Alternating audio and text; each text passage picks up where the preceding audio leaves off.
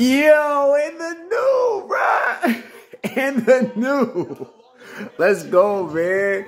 Shouts out to Martinez. He definitely deserved that thing, man. We, yeah, come on, dude. Ancajas, like, yo, that guy, he was great. He did a great job. But, yo, Martinez, that was no, that was crazy, man. That was crazy. It just, it just, it never stopped. It never stopped for the whole, the whole fight. It never stopped.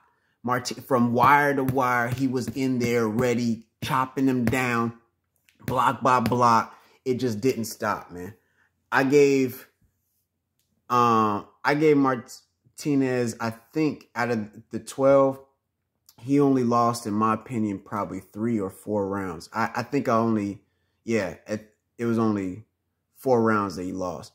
But wow, congratulations to him and the new dude and the new. Let's get it, man. Congratulations.